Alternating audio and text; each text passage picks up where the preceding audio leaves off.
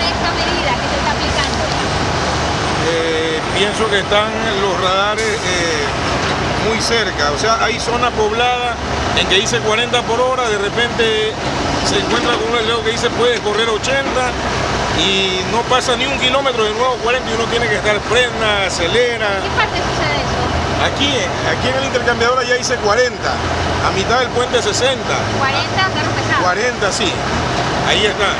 60, cuando viene la perimetral por la entrada de la 8, usted viene en la autopista y de repente en una curva se topa con un letrero que dice 40, tiene que bajar de la velocidad, porque es zona, zona urbana con zona de carretera.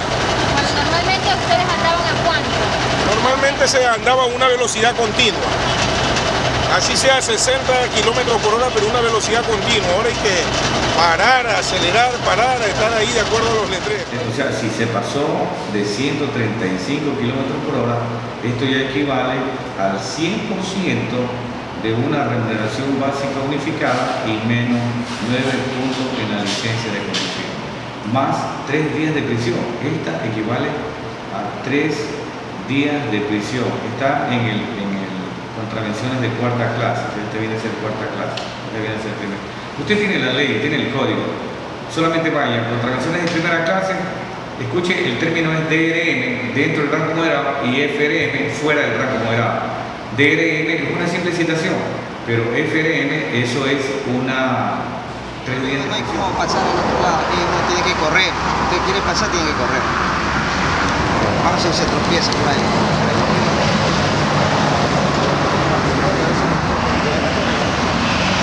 Muy bien la, usted me está mejor control que haya con la velocidad de los... Aquí, por ejemplo, ¿a qué velocidad ustedes suelen ir? Pues según yo respeto la velocidad que si es de 80, 80 voy, si es 70, 70. Si es 50, tampoco no me puedo hacer porque sabe que más allá me coge la ATM, me va a sancionar y, y va a ser por, para mí. Entonces ya uno, yo ya me río ya a la, a la velocidad que... Muy bueno. Eso ayuda a evitar 晚上再接这一块